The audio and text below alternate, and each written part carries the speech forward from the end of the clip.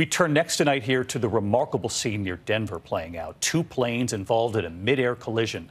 One plane deploying its emergency parachute while going down. The other plane, the fuselage, ripped wide open.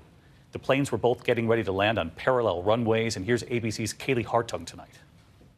Roger, there's an emergency in progress. Tonight, that remarkable sight a parachute guiding this plane safely to the ground, saving the lives of the two people on board. Tower, that was a definite midair. It followed a midair collision with this plane just outside Denver.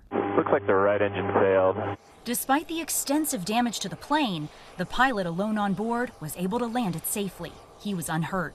Both planes had been cleared for landing on parallel runways at Centennial Airport, but one plane overshot his final approach, and then the midair collision. And Tower, uh, there's another one that dropped the parachute. The single engine Cirrus, the only company with its own revolutionary parachute system for an aircraft, successfully deploying it and preventing an almost certain tragedy.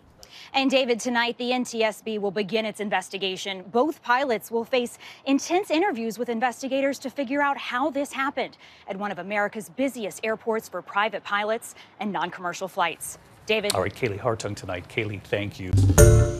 Hi, everyone. George Stephanopoulos here. Thanks for checking out the ABC News YouTube channel. If you'd like to get more videos, show highlights, and watch live event coverage, click on the right over here to subscribe to our channel. And don't forget to download the ABC News app for breaking news alerts. Thanks for watching.